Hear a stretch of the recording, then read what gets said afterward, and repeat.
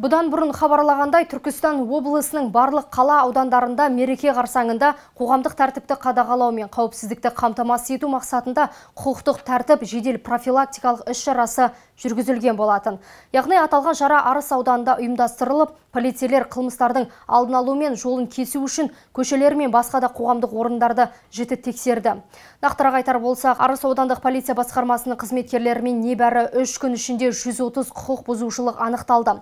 Олардың әрқайсысына тоқталып өтер болсақ, жаяу жүргіншілердің және жол жүрісіне өзге де қатысушылардың жол жүрісі қағидаларын бұзуының 49, жаяу жүргіншілердің немесе жол жүрісінің өзге де қатысушыларының жүруіне басымдық бермеудің 4, автокөлік құралын басып озу қағидаларын бұзуының екі қауіпсіздік белдіктерін тақпаудың 27 көлік құралын масан күйдегі адамның басқаруына берудің бір жайттары мен басқа да заң аясындағы құқық бұзушылықтар анықталып заң аясында хаттамалар толтырылды. Сонымен қатар учаскелік полиция инспекторларымен анықталған әрбір тұлғаға қатысты профилактикалық жұмыстар жүргізілді.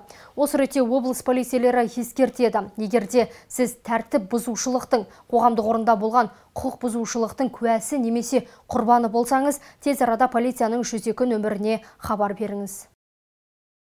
2021 жылдың қаңтар айының 5-і 7 аралығы республика көлемінде аудан көлемінде және түркістан облыс көлемінде бізде қазіргі таңда 5-і 7 аралығы құқықтық жедел профилактикалық іс шарасы өткізілуде қазіргі таңда.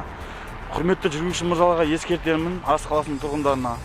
Құрметті жүргізуші мырзалар автокөлік басқару кезінде қауіпсіз белбеуін және де сыртқы жарық аспаптарын жол ережесін қатаң сақтаңыздар. Және де автокөлік басқару кезінде ұялы телефон қолданбауларыңызды өтінемін. Себебі ұялы телефонның қолданылған себебі көп жағдайда бізде жол көлік оқиғасына алып келіп соғады. Сол себепті жол ережесін қатаң сақтаңыздар.